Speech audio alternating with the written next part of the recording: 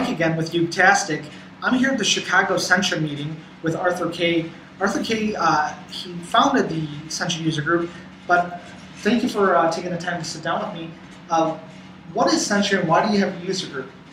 So Sencha is a tech company that makes a series of JavaScript frameworks as well as uh, some supporting tools to help developers build desktop and mobile applications. Okay. And so we started the group because we have a tremendous user community, uh, both here in Chicago and around the world. And I wanted to kind of gather the community here in Chicago since this is where I'm based. Okay, so I you say the JavaScript tools, what are, what are the big ones people would know? So primarily, should know.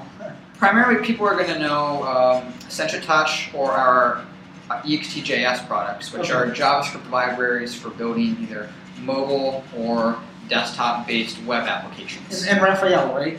Uh, Is Raphael is a uh, sort of side uh, side project that we have uh, built up and sort of extended to build the charting packages within both Sencha Touch and EXTJS. Okay, so it's more like uh, a lower level API than. Yes. Okay. Yes. But Sencha Touch is the big for building the mobile apps. Yes. Okay. Yes, that's correct. Okay. So so you're you're supporting the people who are using your frameworks and, and, and those tools. Are you an Sencha employee or? Yeah, so I work for Sencha.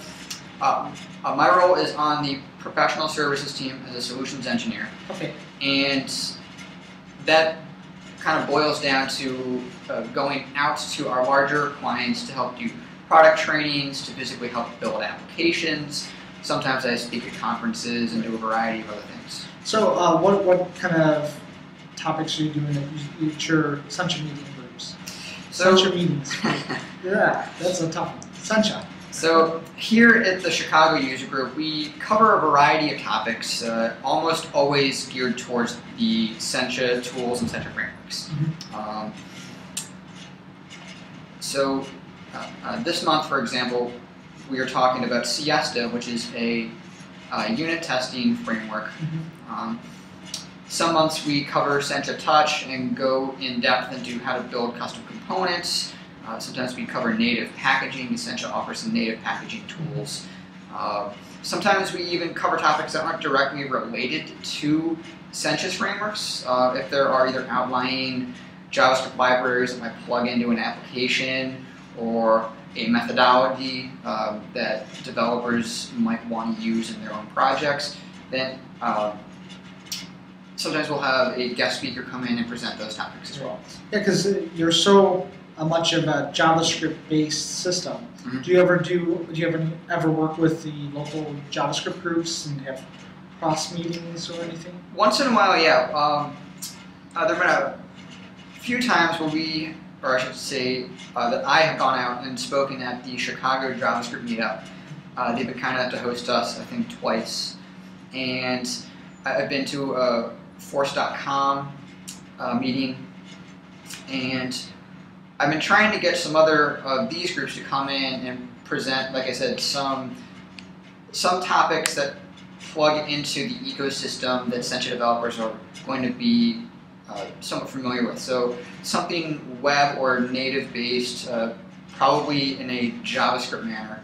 Okay, Um, so or, or like a anything like a back to basics, back to fundamentals. Yeah, Okay. yeah, those kinds of things. So what ultimately what made you want to start the group, and and how long has the group been around? So the group's been around for not quite two years now. Okay. And back when Sencha first hired me, which was the uh, the winter of 2010, they, uh, or I should say, I had previously been using Sencha's products, and I was trying to connect with other developers here in Chicago, and had just never really gathered enough steam to get uh, the group off the ground.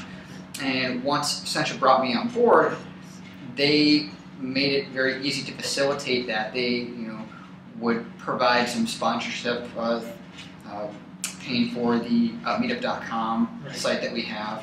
Uh, and that really allowed me to go out and find people, get the location that we have to meet every month, uh, and then bring people into the group. Okay, great. And uh, Well, actually, you kind of answered my next question. I was going to ask about the sponsorship. It's and obviously Sencha is very interested in and supportive Mhm. of. Uh, like, about how many people do you usually see? Because it's uh, like I, I just say like when I saw the Sencha group, I had to do a little bit of research even to find out what Sencha is. Mhm. I don't know how known. Like, how do you go about um, sharing that there is this group, and and also reaching people that might not otherwise know of the toolkits? Mhm. Sure. So, on a month-to-month basis, the number of people that we have attending uh, varies somewhat. Usually, we get between uh, 15 and 40 people every month, and usually people have uh, found the group either through uh, Meetup.com, meaning that they have been members of other JavaScript groups and noticed that we are here, sort of signed up, Right. or on the Sencha message boards, I can go out and advertise that we've got a group looking for people here in Chicago. Oh, okay, so there's a channel through the Sencha there. There's a channel there, and then, uh, as I said, Sencha really goes out of their way to help support our group as well as the other groups that are around the country. So, if you have downloaded one of our products, you're probably on the Sencha mailing list. Right. And once every couple of weeks, when we send out here the upcoming events that Sencha will be at, they will highlight some of the user groups in the areas. So uh, those are primarily the avenues that people find us. Sometimes it's just uh, uh, word of mouth. Uh, you know, colleagues and coworkers will tag along with people. Okay, so what is your typical schedule? We typically meet once a month, uh, usually the last Thursday of every month. That's Thursday. Okay. Um, you know, with uh, this being November, next month being December, um, that will change a little bit for the holidays. Yeah. But we we almost always meet once a month, and it, it's almost always on Thursday. Okay. Well, thank you very much for taking the time to sit down. Well, I very much appreciate it. Thank you.